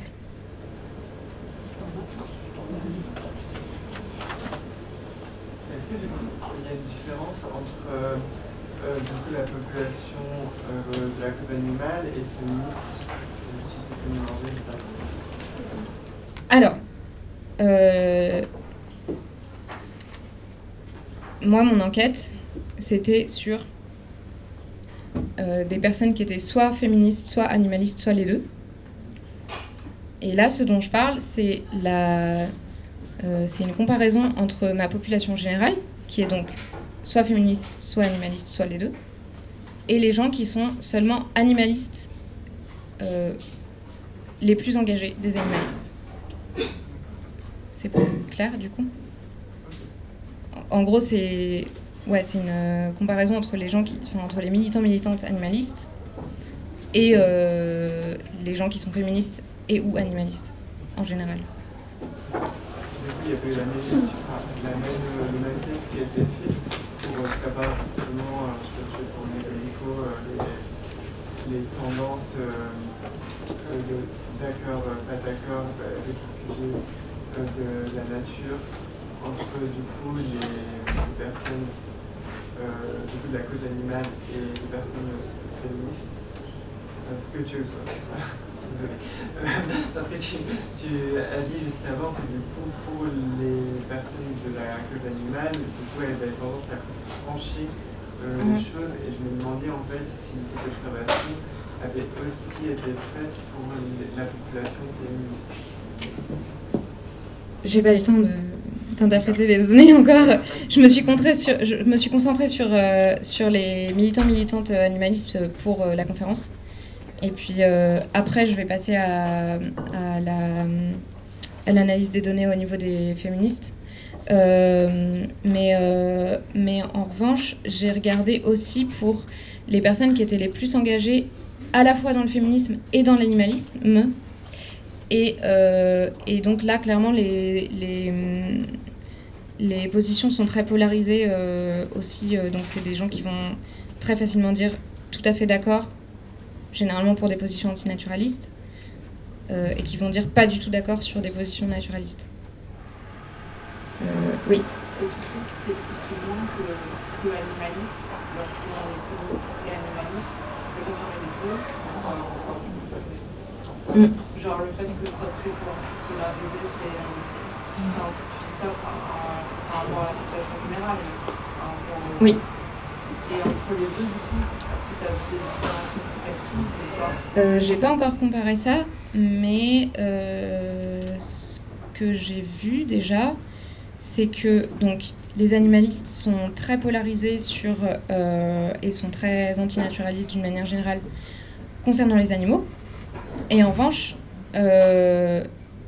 sont moins polarisés sur alors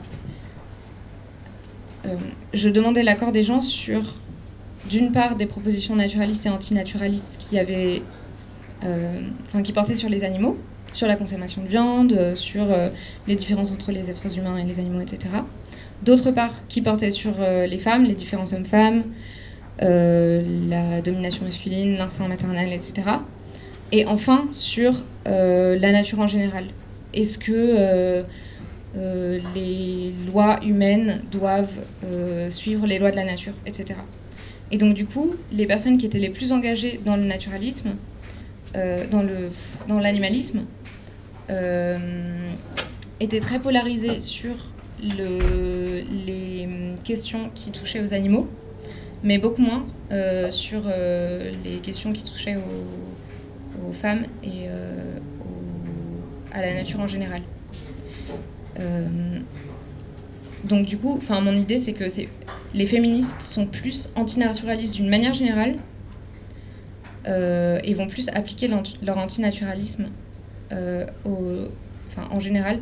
Mais après, j'ai pas vu ce que ça donnait euh, sur les animaux, donc peut-être que, enfin, c'est logiquement, les féministes vont quand même être plus naturalistes sur les animaux. Voilà. Oui. C'est juste un point technique, on entend très bien tes réponses, mais par- mais parfois on n'entend absolument pas la, la question, du coup ça, euh, on comprend pas bien à quoi tu réponds et tout, et je sais pas comment on peut pallier à ça. Bah, je peux ré- répéter la question. Je peux répéter la question. Ouais, ou sinon est-ce qu'il n'y a pas un deuxième micro ou euh, pas, mais, là au moins on peut faire ça comme ça. Ouais, je pense que je vais répéter la question, ce sera plus simple. Non, juste une proposition, il y a pas mal de chefs libres, donc peut-être que si vous êtes au fond, vous pouvez vous rapprocher plus longtemps. Sam. Non. Il y a pas mal de chaises libres, sinon vous pouvez venir là aussi. Donc la personne a fait la, remarque. euh. Non, mais sinon je vais répéter la question euh, tu auras des questions. Euh, donc je voulais juste dire un truc sur euh, parce que c'est quand même le truc intéressant que j'ai trouvé en interprétant mes données, c'est que du coup, ce que je disais, c'est que les personnes qui sont le plus engagées dans la cause animale ont des opinions qui sont très polarisées euh, enfin qui sont plus polarisées sur les propositions concernant les animaux que la population générale, sauf sur euh, la, proposition il est contre nature pour les êtres humains de consommer des produits d'origine animale. Ça, en gros, c'est une proposition euh, qui a beaucoup divisé euh, la partie de euh, la population que j'ai étudiée, qui est euh, le plus engagée dans la cause animale. Donc ça, donc ça c'est clairement c'est euh, l'idée de contre-nature, c'est une, enfin, c'est, euh, du vocabulaire naturaliste. Ça, ça, ça porte une, euh, ça porte une, un aspect nor- normatif en fait. Quand on dit que quelque chose est contre nature, ça veut forcément dire que c'est assimilé à quelque chose de mal. Et donc du coup, cette,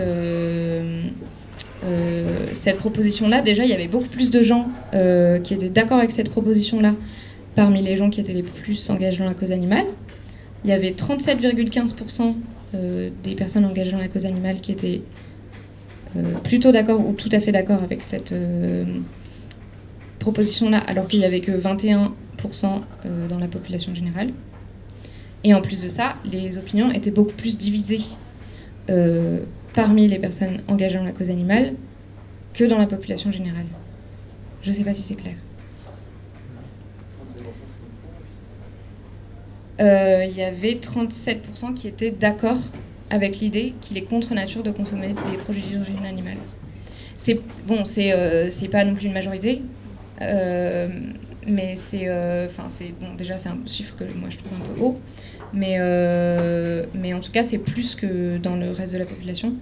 Et surtout, enfin mon point, c'est surtout que euh, c'est euh, que c'est une question qui divise en gros les milieux animalistes de est-ce que il est contre nature de consommer des produits d'origine animale ou pas? Voilà. Oui. Moi, j'aurais été très embêté pour répondre à ta question parce que la notion même de contre-nature n'a aucun sens pour moi. Oui. Il y a beaucoup de gens qui ont été très embêtés pour répondre à mon questionnaire, mais à cause de, encore une fois, la polysémie du terme de nature, euh, qui, qui est, enfin, qui est, euh, moi aussi j'ai galéré à le faire, hein, le questionnaire, euh, parce que en fait c'est- flou et, et du coup c'est difficile de se positionner dessus quand on y a déjà un peu réfléchi, parce que dès qu'on y réfléchit un peu, on comprend plus ce que c'est que la nature. Donc oui, je suis d'accord. Il y avait juste une question là avant. Euh, ouais, non, c'était par rapport à la question aussi, genre, euh, utiliser plutôt euh, la négation, c'est que ça, ça perturbe en fait. Parce que du coup, on se dit, attends, ceci Mhm. répond. Euh, c'est vrai qu'en fait, je pense qu'en vrai, j'aurais répondu oui, et après, j'aurais répondu non, peut-être. Mais euh, sur le coup, j'aurais dit oui, parce que ouais, je veux pas que les gens. C'est parti. Et l'autre après, je me suis dit, ah ouais, pardon, en fait, ça n'existe pas mot. Euh, plutôt, je pense que c'est perturbant aussi euh, ce mot, quoi. Déjà, bon, c'est nature, mais aussi le contre, surtout avant la négation, avant, on comprend pas. Oui. bah, moi, je comprends. pas. Je pense que ça peut perturber les gens. Il y avait aussi une case euh, Je ne comprends pas la question. Et euh, en vrai, il y a pas mal de gens qui ont. euh, dans la population générale, il y a pas mal de gens qui ont coché la case Je ne comprends pas la question. Mais beaucoup moins dans la population euh, des personnes engagées euh, dans la cause animale, parce que en fait, c'est quelque chose dont on a déjà entendu parler. Est-ce que c'est contre nature ou, ou pas de, euh, de consommer des produits d'origine animale? Euh, voilà. Mais il y avait aussi d'autres questions euh, qui étaient euh, euh, euh, du coup naturalistes, qui étaient il est naturel de euh, consommer des produits d'origine animale. Tu vois à chaque, à chaque fois dans les questionnaires comme ça, de toute façon, il y a des questions qui se ressemblent et c'est un peu piégeux. Et c'est un peu perturbant, mais euh, voilà. Non, non. Et je voulais juste préciser euh, qu'il faut bien distinguer deux choses, je crois. Euh, quand quelqu'un nous dit que le meurtre, c'est naturel, par exemple, tout ce qu'on veut, c'est naturel. Je crois que l'objectif, c'est pas de dire, bah non, c'est pas naturel. Euh, tout est social, tout est construit. On peut très bien reconnaître qu'il y a des facteurs biologiques. On peut même dire, oui, si tu veux, j'admets que c'est naturel. Mais l'enjeu, c'est de dire que euh, le caractère naturel ou non d'une pratique ou d'un phénomène ne nous dit rien de son caractère juste ou injuste. Et l'enjeu, c'est rejeter ce qu'on appelle l'appel à la vie. Pas parce que quelque chose est naturel que c'est justifié. Donc on peut dire que quelque chose est naturel et tout autant agir pour l'empêcher. Tout à fait. Bah, c'est un peu ce que je disais, euh, ce que j'essayais de dire euh, quand je parlais euh, des, oppositions par rapport à la nature dans, les milieux animalistes. c'est qu'il y a des personnes qui vont vraiment montrer que non, c'est pas naturel de consommer de la viande, et ça va être leur argument principal, et que ça, ça va être du coup, vu que c'est pas naturel, il faut pas en manger. Donc là, on reste dans un raisonnement naturaliste. Et en même temps, l'argument, euh, sans doute l'argument le plus fort, en fait, c'est de dire que. euh, de s'opposer euh, frontalement au naturalisme en disant que c'est pas la question. Oui. Non, enfin, c'est moi qui donne la parole en fait. Est-ce que tu as demandé euh, combien de temps les gens étaient dans la cause et est-ce que tu as observé des, corrélations entre euh, gens qui ne sont pas depuis longtemps et qui ne sont pas éclairés sur euh, le discours naturaliste et des gens qui qui le savent spécialisés sur la Non, j'ai pas demandé. De- euh, de- Est-ce que j'ai demandé si euh, depuis combien de temps les gens étaient euh, engagés euh, dans la cause un- un- des, des paliers d'engagement aussi, genre un peu engagé, beaucoup engagé, tout ça. Oui, j'avais des, j'avais des paliers enga- d'engagement et je pense qu'en fait ça, ça se rapproche un peu de ça. Euh, Pas nécessairement, je pense, parce que enfin, moi personnellement, dès le premier mois, j'aurais été très engagé pour que ce soit plus éclairé. Ouais. Euh, oui, j'aurais pu faire ça. J'y avais juste pas pensé en fait, je pense.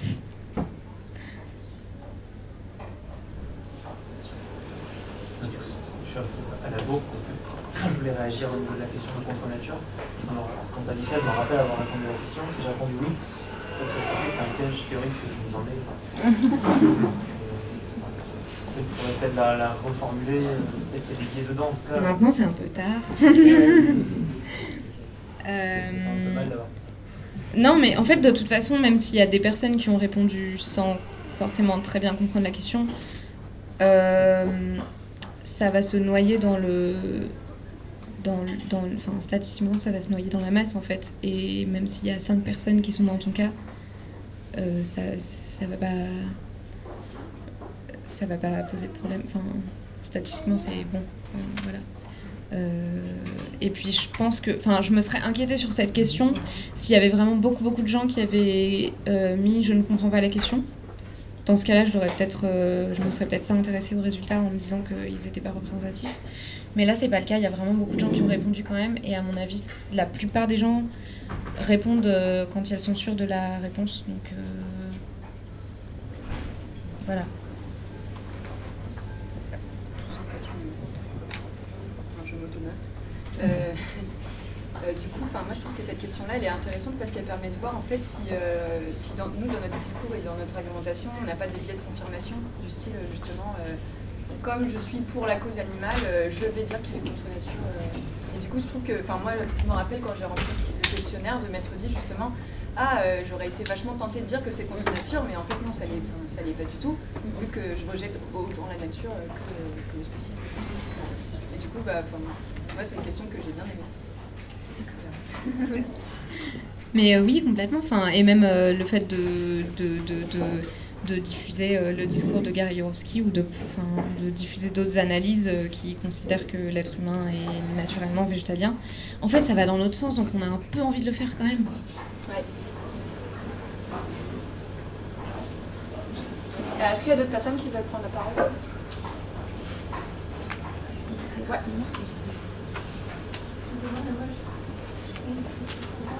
Un peu plus, plus fort, pardon, je n'entends pas.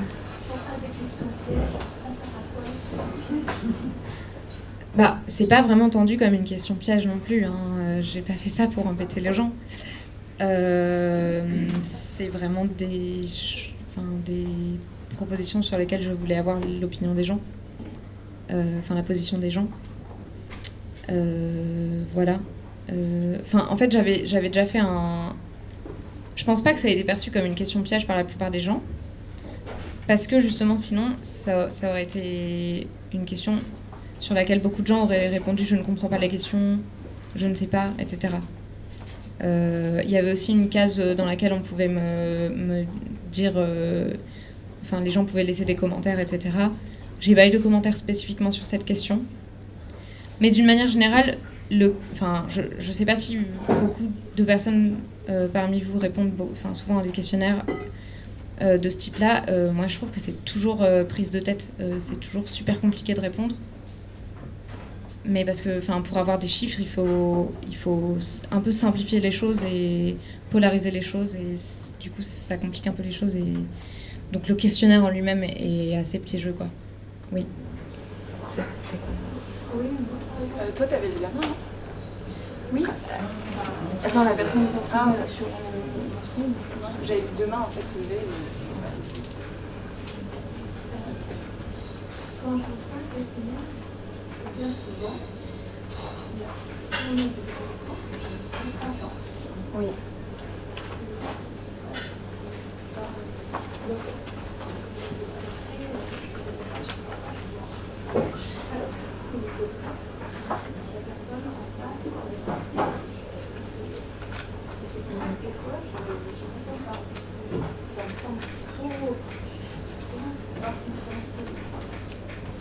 Et en fait, même le, même le fait de répondre je ne comprends pas, c'est une donnée statistique qui est utile à l'analyse. Euh, moi, je vais, enfin, je vais l'utiliser, le, le, le, fait qu'il y a des questions sur, vraiment, euh, sur lesquelles vraiment il y a 50 personnes sur 270 qui ont répondu je ne comprends pas la question. C'est très intéressant parce que ça, montre, euh, ça montre que les gens sont à un stade de réflexion où, euh, par exemple, où euh, la notion de nature et la notion de culture sont pas très, euh, enfin, sont plus claires, et donc du coup, ces personnes-là n'arrivent pas à répondre aux questions. donc, enfin, franchement, répondre à des questionnaires, c'est frustrant, je suis d'accord, et d'autant plus quand on ne comprend pas les questions. Euh, mais enfin voilà, euh, même répondre je ne comprends pas, c'est intéressant pour la personne qui va interpréter les, les réponses. On va prendre le temps pour un peu près de questions. Ok. Euh, Peut-être on pourra en parler après.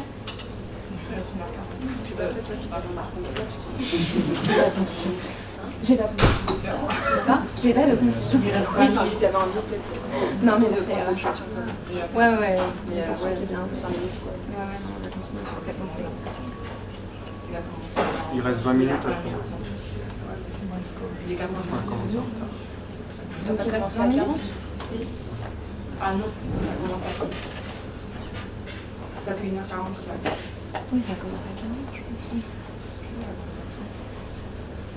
Moi j'ai mis le chrono quand on a commencé à parler. Ouais, ouais, mais c'est ça, à 15h. sinon, on a à peu près 75% de, de prise de parole masculine.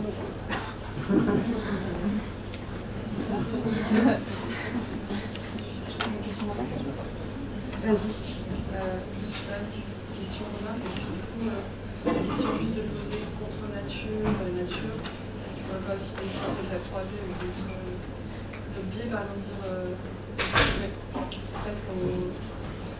il n'y a pas peur d'être de dire bah, on s'en fout de savoir si c'est nature ou pas naturel, est-ce qu'on est, qu est d'accord avec le fait de faire subir des mm -hmm. à des animaux qui plus...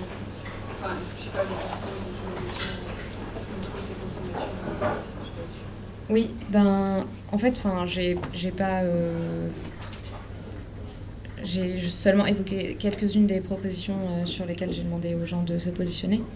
Euh, mais oui, il y avait, euh, il avait ces questions-là de. Euh, il faut que je retrouve mes questions, mais il y avait ces questions-là de. de de peu importe si c'est naturel ou pas, en fait, c'est des, des, choses sur lesquelles j'ai demandé aux gens de se positionner, oui. C'était pas que sur est-ce que c'est naturel, est-ce que c'est pas naturel. Parce que mon but c'était de voir si les gens avaient des positions antinaturalistes aussi dans le sens de peu importe peu importe la nature en gros.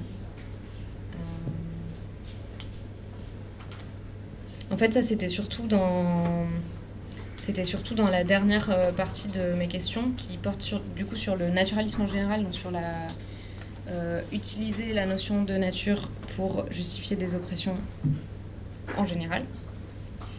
Euh, donc il y avait par exemple la notion de nature est une idée construite pour légitimer l'ordre établi. Ça c'est une position antinaturaliste euh, qui considère que euh, qu'il n'y a pas une naturalité de, des hiérarchies, mais qu'il y a une naturalisation des hiérarchies, c'est-à-dire qu'il y a un discours produit par l'ordre dominant pour se légitimer lui-même par l'idée de nature. Donc ça, c'est une, question que j'ai posée à la fin. Et puis... Voilà, il y avait d'autres questions sur est-ce que... est-ce que la notion de nature ne doit pas entrer en compte dans la politique ou dans l'éthique. Enfin, voilà, il y avait ce genre de questions. Euh, et enfin, je ne sais pas si ça vous intéresse d'avoir les résultats sur ce genre de questions. Bref, je les ai sous les yeux si vous voulez. Oui.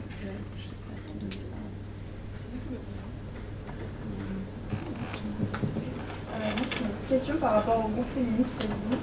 Euh, comment ils ont été déterminés Est-ce que c'était plutôt des groupes euh, CTPG ou des groupes OLF enfin, Parce que par rapport aussi à, la conception du, du, féminisme, je pense qu'il y a pas mal de différences. Mm. Ouais, en fait, j'ai été un peu pris de court parce que hum, je pensais que, euh, euh, que j'allais avoir plus de réponses sur les groupes euh, animalistes que sur les groupes, que sur les groupes féministes. Du coup, j'ai posté direct sur deux groupes euh, féministes euh, dans lesquels j'étais, parce que c'est beaucoup plus simple de poster le nom des groupes dans lesquels j'étais, parce que sinon ça allait me prendre beaucoup de temps de rentrer dans le groupe. Pour les gens qui connaissent, j'ai posté sur les copines et sur les paupiètes de coquines. Donc, c'est des groupes qui sont orientés féminisme intersectionnel. Les copines, c'est beaucoup plus divers parce que c'est à volonté pédagogique. Donc, du coup, il y a beaucoup plus de gens qui ont qui sont là par curiosité. Euh, j'ai quand même eu des personnes euh, auxquelles je ne m'attendais pas, qui me sont venues euh, de ces groupes-là. Donc très clairement, j'ai eu des féministes transphobes. j'étais, franchement, j'étais contente d'avoir ces résultats-là. T'inquiète pas, ça va. Non mais j'étais contente d'avoir ces résultats-là parce que j'avais pas du tout envie d'aller sur des groupes transphobes pour leur demander leur avis, donc ça m'arrangeait en fait de les avoir par des groupes féministes euh, euh, à volonté intersectionnelle. Enfin bref, c'est un peu dommage pour les groupes qui aient ces personnes là-dessus, quoi. Euh, voilà.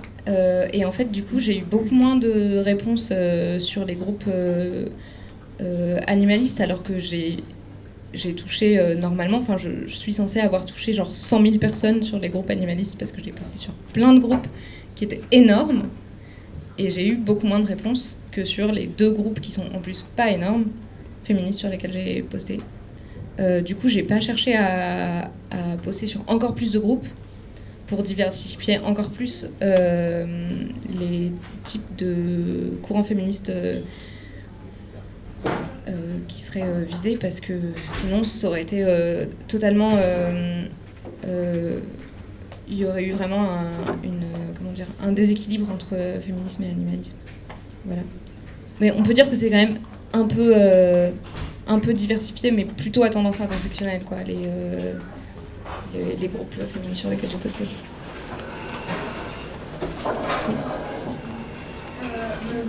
la pour les groupes animalistes, comme c'est aussi pour les choses hétérogènes, je ne sais pas si du coup, tu t'es intéressé à savoir dans quel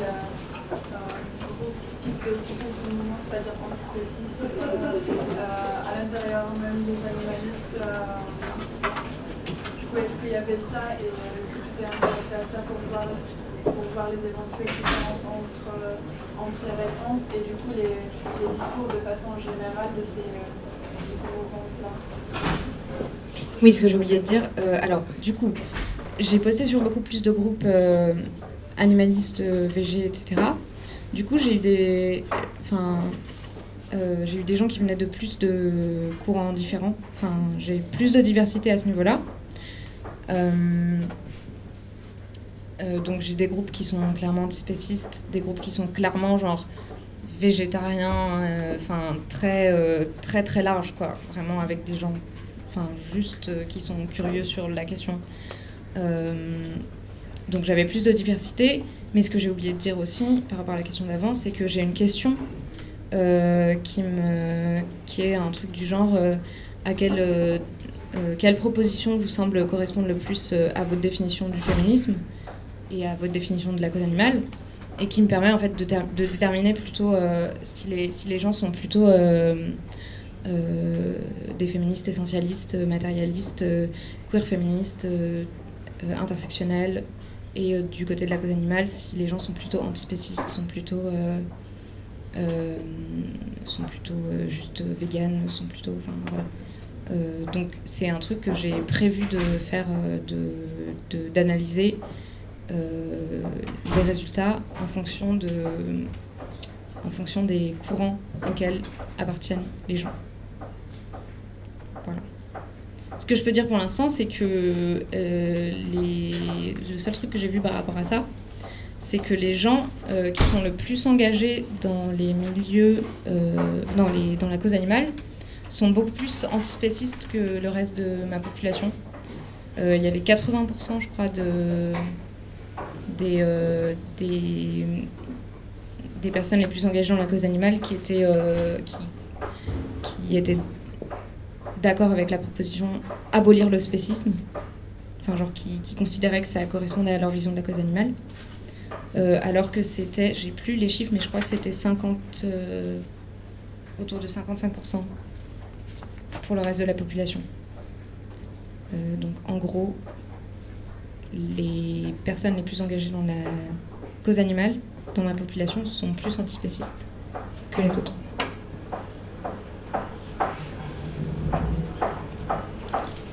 Juste pour euh, essayer de comprendre pourquoi tu as eu plus de réponses euh, du côté des féministes, enfin des groupes féministes que des, côté des féministes, est-ce que tu peux rappeler quel était l'intitulé exact de ton questionnaire? Oui, euh, je ne sais pas si ça permet de le comprendre. Enfin, il y a une partie ça.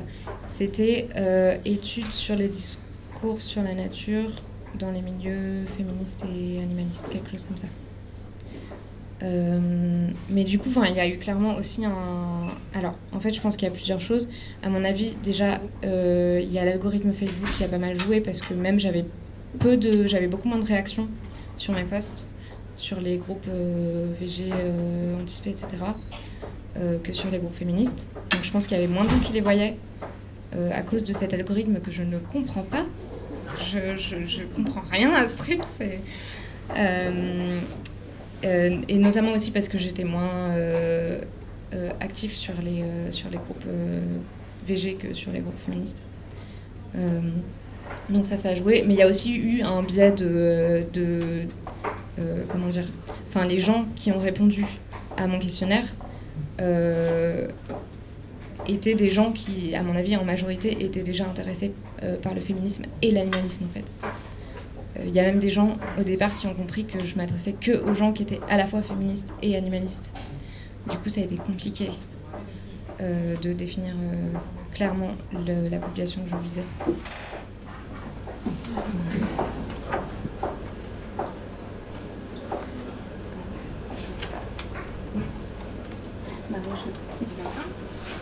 Est-ce que ça peut pas- Vas-y, Est-ce vas-y. que ça peut venir du fait que le féminisme fait plus consensus que le mot animaliste Justement, j'ai utilisé animalisme pour. euh, j'ai peut-être dit cause animale. Enfin, en fait, j'ai un peu utilisé cause animale et animalisme euh, un peu quasiment comme des synonymes parce que je trouvais que c'était les plus neutres. Parce que, enfin, si on dit véganisme, du coup, ça implique euh, des pratiques euh, qui sont pas, euh, euh, qui sont pas euh, universelles dans les milieux qui m'intéressaient. Euh, si on dit antispécisme, c'est encore pire parce qu'il y a beaucoup de gens qui se réclament pas de, de l'antispécisme. Euh, et puis je pense que, enfin comment dire, dans le milieu de l'animalisme, de toute façon, les gens vont pas avoir trop de problèmes avec le terme animalisme. Tu vois ce que je veux dire Je sais pas. Non, Moi je pensais plutôt l'inverse. Enfin, C'est-à-dire enfin, si tu me poses la question, moi je me définirais pas comme animaliste, comme antispéciste. Oui. Ça a fait. Peut-être que les gens qui étaient peut-être les plus antispécistes ne sont pas reconnus dans ce, truc un peu Ouais. Enfin, moi, c'est comme ça que je interprété. Ouais. C'est perso. C'est pas faux. non, je pense que j'ai j'ai aussi beaucoup utilisé cause animale et que du coup ça. Enfin, mais c'est en fait c'était un peu compliqué de, ouais, d'inclure tout- toutes les populations que je voulais inclure euh, sans que euh, les gens se disent euh, non, moi je ne m'identifie pas comme ça donc je vais pas répondre. C'était un peu complexe. Alors, ouais, ma une remarque plus générale, c'était pour dire que je pense que le, biais naturaliste, euh, en gros, ça génère des confusions entre ce qui est descriptif, des- descriptif et prescriptif, c'est un biais assez puissant. Et on peut le déconstruire dans des cadres assez restreints sur des questions d'animalisme, sur des questions de féminisme, mais c'est quand même assez difficile de le déconstruire de manière très générale. Je pense que, enfin, moi, à titre personnel, je sais qu'il j'avais déconstruit des, des choses dans certains domaines, suis rendu compte après que sur d'autres domaines, je n'avais pas déconstruit, mais très, proba- très probablement qu'il y a pas de questions où je ne les pas encore déconstruites. Je pense que c'est vraiment un travail de déconstruction assez intense, vraiment de se débarrasser de ce. Oui. Ben, je pense que c'est un peu ce que j'ai vu dans, pour l'instant dans mon interprétation des données sur le fait que les personnes euh, les plus engagées dans la cause animale sont très antinaturalistes euh, sur euh, la question des animaux, mais sont beaucoup moins catégoriques sur le reste, le reste de l'antinaturalisme, enfin du naturalisme. Donc oui, c'est des choses qui sont à... La déconstruction, dans tous les domaines, euh, c'est un problème, je pense. Et bah, encore une fois, c'est un problème parce que euh, la notion de nature, elle, euh, elle invisibilise les oppressions et elle...